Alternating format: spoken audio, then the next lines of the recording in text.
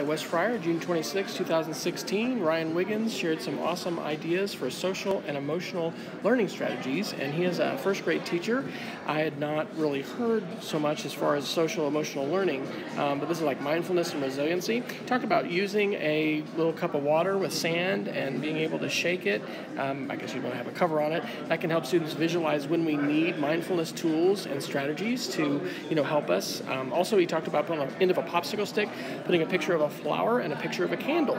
And then students will sniff on the flower side as they inhale, and then they will blow out on the candle side when they turn it around. So, just some practical ideas for ways to help uh, students perhaps visualize the need for mindfulness and then actually practice mindfulness in the classroom.